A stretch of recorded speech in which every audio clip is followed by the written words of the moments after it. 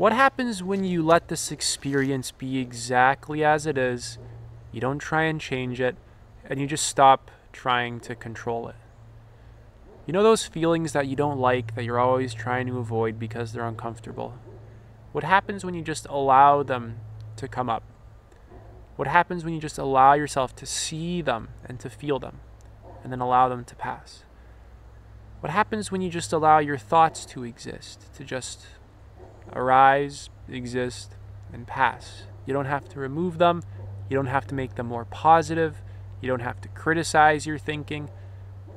You just allow them to be exactly as they are without getting so involved in them, without needing to change them, without needing to control them. What if you do that with that problem in your life, right? That you're so obsessed about. You just can't let go of trying to solve this problem in your life to the point where you just can't relax. What happens if you just let go of that and just for now, just for a few moments, you just learn to step back and just allow it to exist rather than reacting to it? You're just not trying to control it so much, just watching, just allowing experience to be exactly as it is. Just for now. Could that potentially help you to solve the problem by taking a step back? Can this potentially change the way that you are relating to your problems, relating to situations? Can this potentially give you the, the inner psychological space that's needed to be more effective in your relationship to yourself, to other people, to your career, to the problems that exist in your life?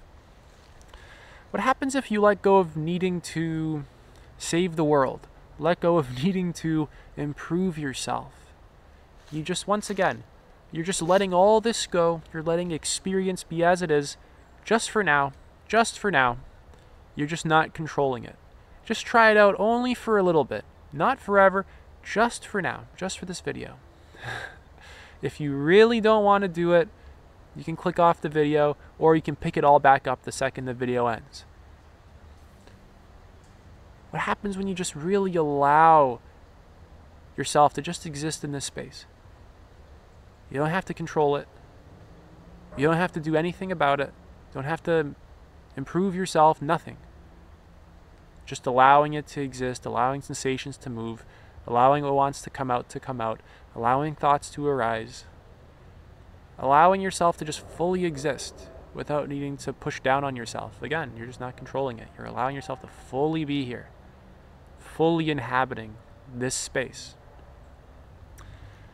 Essentially, something really profound happens the second that you just let go of needing to alter experience whatsoever. This becomes a major shift. This is a huge turning point that can really impact every single domain of your life. Can you see how this can really impact every domain of your life whenever you have some kind of problem? Whether it's a more logical one or emotional one, you can kind of like not be so reactive. Let's say you have a relationship problem. Again, you can just not be so reactive. You don't have to control it and fix it immediately. It's like you're able to kind of just meet life with this deeper tranquility. Not meaning that you always feel relaxed, but more so regardless of what's happening, regardless of what the flow of life brings you, you're able to just meet it with more acceptance, more psychological space, more awareness, less of a need to control it immediately. Very counterintuitively, this makes you far more effective at actually solving the problems that you face, far more effective in your relationships, far more effective in relating to yourself in a more healthy way. So once you're able to kind of just let go and allow this experience to be as it is, you let go of controlling it, let go of pushing a feeling away, let go of needing a particular thought to be removed. The energy starts to flow, which is what you really want. You want to feel connected to life. You want to feel some sense of energy flow. That's why you want to make money. That's why you want to have sex. That's why you want to eat food. Essentially, you're trying to connect yourself to a flow of energy. Those are some reasons. Not all the reasons, just some. Right? You're trying to just feel connected to the moment. There's nothing wrong with any of that stuff. It's all perfectly fine. It's just that it often becomes very compulsive within human beings and very unconscious. So essentially, the second you're able to just not have to control everything, you stop getting your hands in there and it's like, ew, you're it's like sick and twisted actually. the second you can just really let it, everything be as it is, the energy moves. A lot of blocks are gone. they naturally start to liberate themselves. A lot of emotional problems can naturally start to just liberate themselves you start to just feel more connected to experience. You actually start to feel more authentic. It's like the universe has an opportunity to move through you as you rather than you always blocking it out in favor of controlling every little thing. Sometimes the best way to gain more control is by letting it go. Life is often very counterintuitive. So a lot of feelings start to liberate themselves. Thoughts can kind of come and go more freely. You're not always just reacting to the inner world. You feel more connected to other people. What happens when you let go of always trying to control other people? You let go of trying to just control their beliefs all the time. You let go of trying to control their opinion of you to get approval. You just decide to just let that entire game go just for a little bit. Just see what happens. Take it on as, an, as a science experiment. So, counterintuitively, you can actually feel more connected to others. You bring less reactivity to your relationships. You feel more present. You feel more grounded as a human being.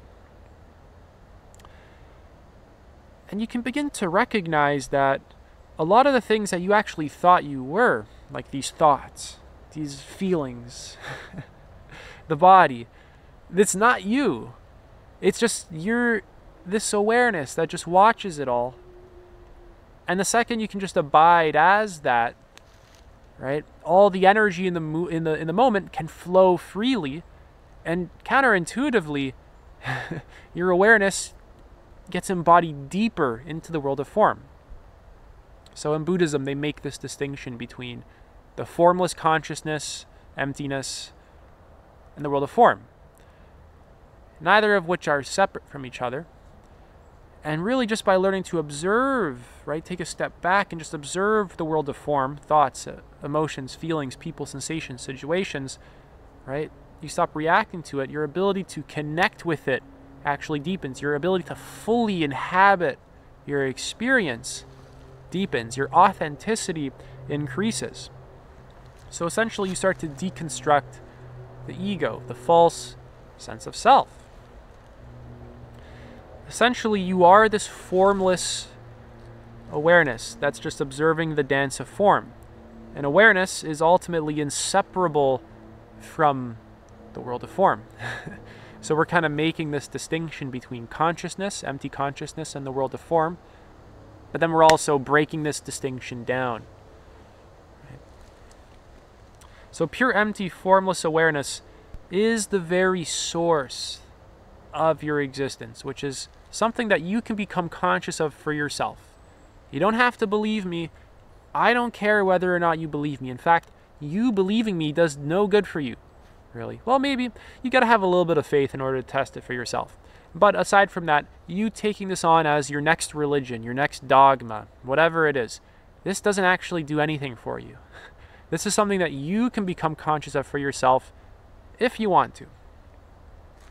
And you can actually recognize that everything is arising from consciousness. Everything's arising and passing away back into this one awareness, this one consciousness. Thought arises from consciousness, exists within consciousness, passes away back into empty consciousness. And it's doing that moment by moment by moment. Everything is always in this constant state of flux, change, flow, arising and passing. Right? This is impermanence. Impermanence doesn't just mean that, um, you know, like your relationship will eventually have to end or your job will eventually have to end. It, it means something far deeper than that, although, yes, it does mean that too. Impermanence means that every single aspect of existence is not staying the same even for a moment. Everything is in this constant state of flux, flow, change, and ultimately uncertainty. Just chaos. And the more you can surrender to the chaos, let go of control, counterintuitively, the more in harmony you feel. The most order you, it'll be the most order you've ever felt in your entire life because this flow of, of chaos, this world of form, right? It's intelligent. It's not stupid. It's not uh, unconscious. This world itself is conscious. This world itself is alive and intelligent. This world itself is aware. Awareness is a quality of existence itself, not a human. The human doesn't generate awareness. the human is happening within awareness, within consciousness. Again, it's something that you can become conscious of for yourself. And this awareness is completely non objective. Let me tell you a little bit of what I mean by that. So it's, it's, it's really the ultimate subject of experience. You can't objectify this awareness in the same way that you can objectify um, my hand or an atom or any of that kind of stuff. It's the ultimate subject. It's your nature, which is inseparable from everything. Essentially, it collapses the very duality between subject and object, subjective and, and objective. It moves even beyond that. It transcends the very duality of subject and object while including them. So it's this transcend and include, not this transcend and then like repress and push it away. So it's you. It's what you are. It's what these trees are. It's what I am. It's what the leaves on the ground are, the dirt. Your mom is. It's what your dad is. It's what your dog is. It's what your teacher is. It's what that person you hate. It's what they are. It's all coming from this inseparable source of just pure empty consciousness. Again, I really want to remind you that this isn't some dogma. This really isn't just some new ideology for you to follow. for the love of God, don't turn it into that. It's something that you can become conscious of for yourself. And really, the foundation of the religious traditions like Christianity, Buddhism, Hinduism, Jainism, Judaism, they're founded upon mystics who directly realize this for themselves, like the Buddha. I mean, in Buddhism, it's very clear no self, non duality, emptiness. Jesus, there's a famous quote the Father and I are one. Right? There's a lot of very good quotes by, quotes by all sorts of um, Christian mystics. And there's also, of course, esoteric Christianity. Um, what is it? The Cloud of Unknowing. That's a particularly good one Of course, in Judaism, the Kabbalah, Hinduism, Advaita Vedanta, essentially they're all built upon this direct realization. And because it's actually very advanced, um, people's minds can't really wrap around it.